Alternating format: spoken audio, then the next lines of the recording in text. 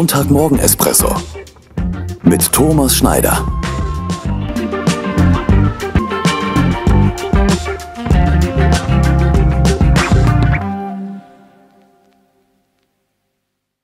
Ich wünsche einen guten Montagmorgen.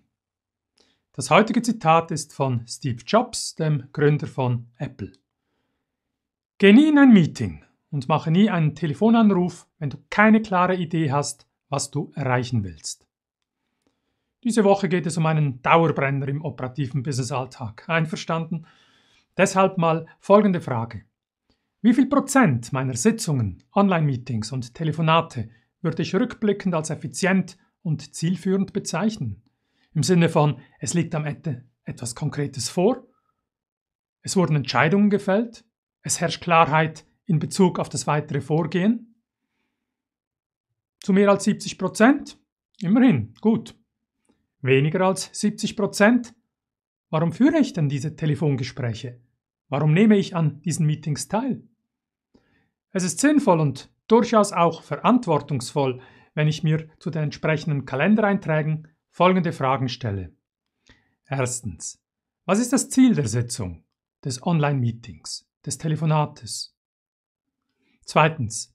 Weshalb nehme ich daran teil? Drittens.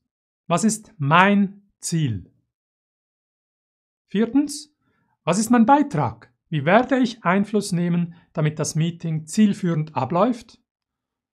Und fünftens, muss ich gar nicht zwingend selbst teilnehmen.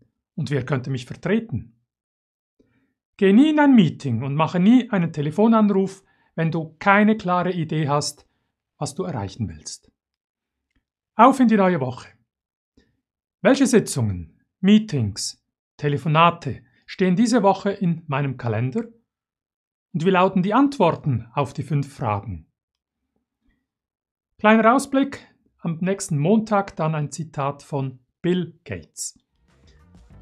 Ich wünsche dir Ihnen einen guten und erfolgreichen Wochenstart. Bis zum nächsten Montag.